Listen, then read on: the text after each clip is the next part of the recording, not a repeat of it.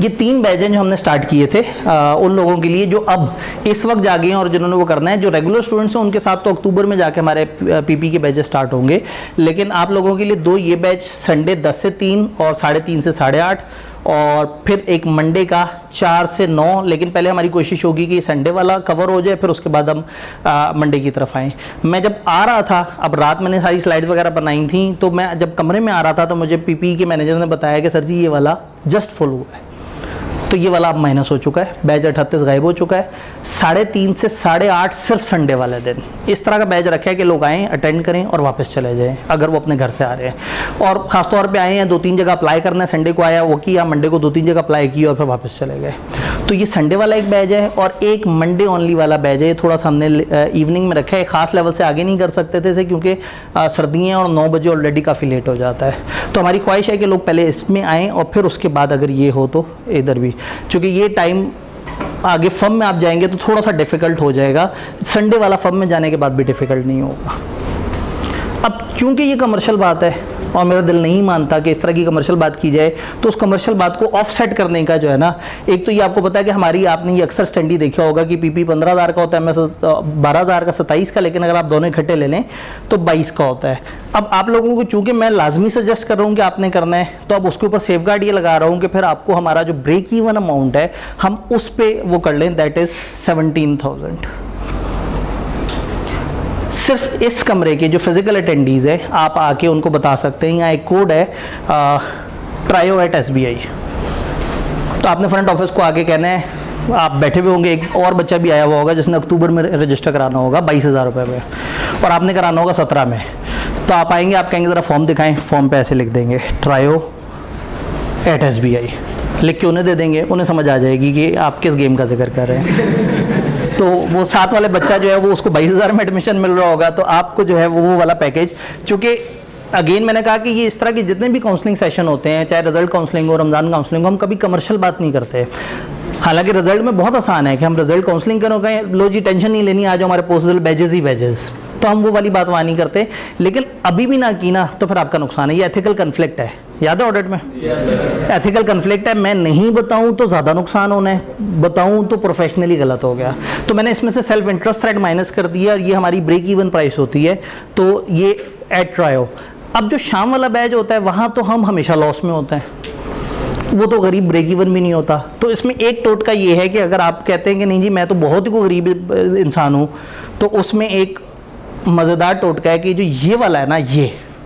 जो हमारी नज़र में पसंदीदा टाइम नहीं है। हम नॉर्मली मानते हैं कि ये को बहुत मज़ेदार टाइम नहीं है लोगों के लिए। संडे पे तो लोगों को अच्छा लगता है कि वो संडे पे आए और चले गए और फर्म शुरू भी हो गई। तो ये, इसमें हम एक्सपेक्ट करते हैं कि लोग कम आएँगे।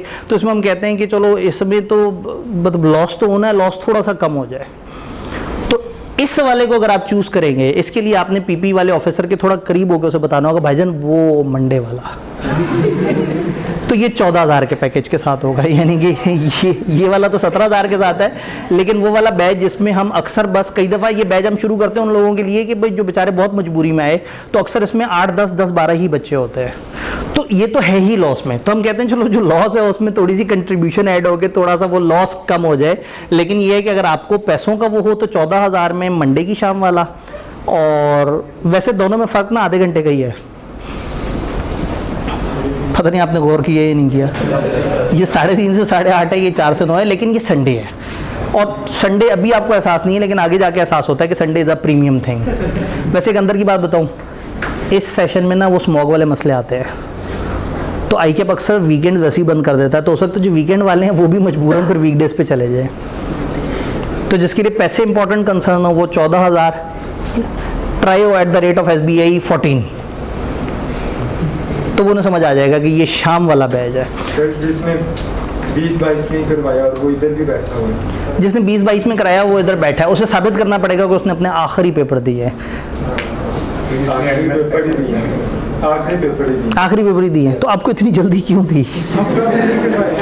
अच्छा ये इस तरह के बच्चों ने ये वाला बैच भरा है। ये ना, आपने सबने ने कूटना है, कितना अच्छे टाइम का बैच था। देखिए ना, दस से तीन। कितना रोमांचक सा टाइम की जनाब आए सुबह अटेंड किया और दोपहर में फारिग होकर घर जाके खाना।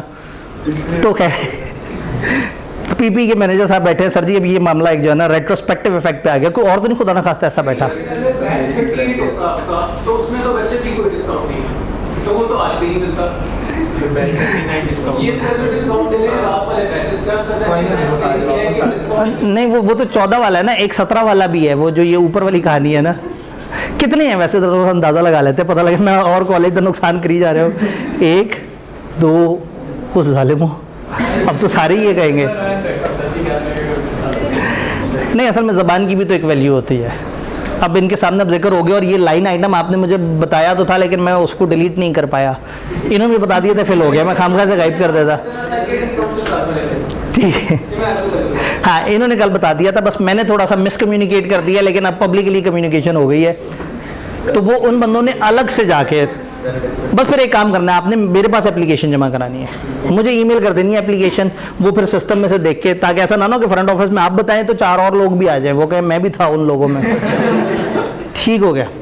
चले जी, ये पाँच, चार लोगों को हम जो है ना, वो ज़बान की खातिर जो है ना, कितना? पाँच हज़ार मल्टीप्लाई पच्चीस हज़ार का नुकसान। चले, समझे हमने खाना खा लिया बीच में। समझेंगे कि आप सब लोगों ने स्नैक्स वगैरह ले लिए इस क्लास में। ठीक। ये तो क्लास है ही बगैर स्नैक्स वाली ना। लेकिन याद रहे याद रहे। डेडलाइन चूँकि इन बैजेस का ना वो एक एक दिन से इनकी क्लोजिंग वगैरह का होता तो हो सकता। है आप जनाब तेरह सितंबर को जाकर रोला डाल रहे हो। सर ने कहा था, मुझे बैच में जगह चाहिए। पीपी में ना लिमिटेशन होती है कि तीस से ज़्यादा बच्चे नहीं भर सकते एक बैच में तो वो बंद हो जाता है। क्लासों में तो आपको पता है अनलिमिटेड कैपेसिटी होती है दो ढाई सौ बच्चे भी आ जाएँ तो चल जाता है काम। लेकिन पीपी में तो ये 12 सितंबर, ये परसों का दिन है, परसों वो वाला दिन जब आपने दोबारा से आना है अपने सीवी और वो जो एक एक एक्स्ट्रा एक्टिविटी है उसके लिए। यहाँ एक भाई कुछ कहना चाह रहे थे। जी। बस फिर फिर उनके लिए नहीं है। भाई ज़रा उसमें कोई जुगाड़ निकालने के चक्कर में तो उन्होंने कहा, अगर एम एस ऑफ़िस पहले से कर लिया हो, उसमें मेरे ख्याल में कोई वो करना पड़ेगा प्रो रेट करना पड़ेगा। मैथ समझते हैं। मैथ समझते हैं आप। पंद्रह प्लस बारह इज़ इक्वल टू सत्ताईस। अगर सत्ताईस इज़ इक्वल टू सत्रह हो तो पंद्रह डिवाइडेड बाय सत्ताईस मल्टीप्लाई बाय सत्रह। ठीक है? तो उसमें आप अजीबो गरीब सी अमाउंट पे पहुँच जाते हैं तो इसकी हमने रफ अमाउंट्स बना दी हैं। सत्रह था ना? तो नौ हज़ार और सात हज़ार नहीं, साढ़े आठ हज़ार और साढ़े छः हज़ार। अमाउंट तो डिफरेंट थी। नौ और सात से तो सोलह होगा, नहीं। साढ़े नौ और साढ़े सात। साढ़े नौ और साढ़े सात।